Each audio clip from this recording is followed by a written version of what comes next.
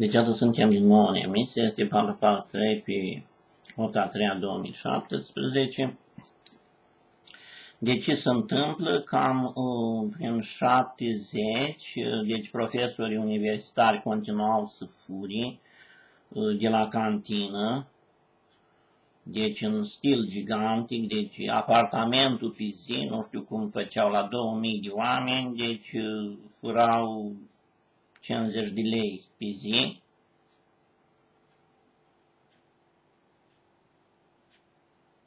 Sau un apartament în alte părți să fura mai mult, că ar fi fost vreo 25 de mii, deci furau vreo 15 apartamente pe zi, bineînțeles, nu era greșeală de cântar, nu era nimic,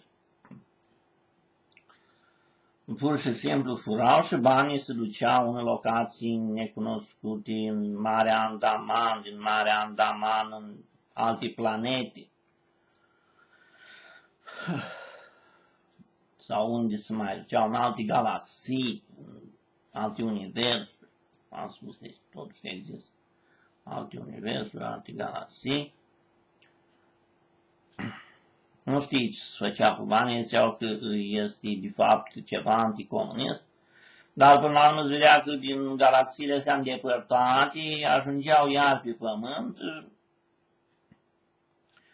spre anumite locații de lux, să spunem, mai mare sau mai mic,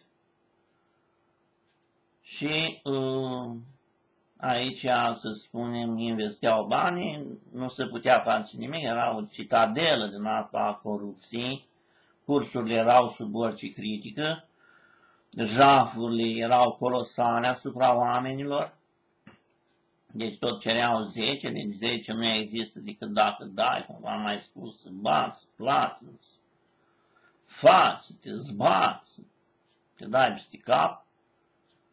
Uh, S-au desfințat centrul universitar, au fost băgați la închisoare toți. Cred că vreo 10 ani, n-am mai văzut niciun profesor după asta universitar pe aici, era închis.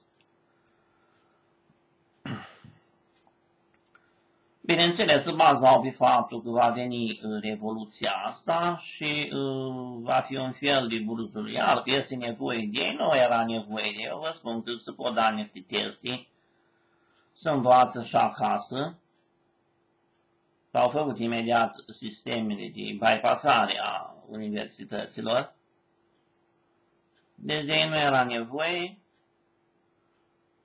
noi au spus să mărească limita, minoratului până la terminarea facultății și a masteratului, să spunem, nu s-a făcut asta, deci s-a desfințat, au fost băgați la închisoare, s-a dat cam 10 ani, cred că, de fiecare. Așa știu. Și uh, lumea s-a simțit mai liniștit. Unii au zis că pierde economia, din cauza asta o să plece toți specialiștii. S-a evaluat și asta nu este adevărat. Deci scoteau specialiști slabi care nu puteau să facă nimic, deci aceeași situație ar fi fost.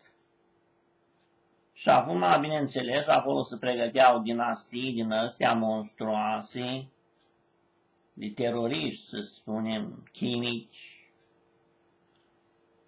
bătăuși, și alte lucruri morbide, trebuie să evaluez, că așa am înțeles, că peste 50 de ani ne apropiem, se evaluează situația. Burse, false, să spunem, exact ca în Butan, exact ca în Butan, un fel de porcărie din asta gigantică,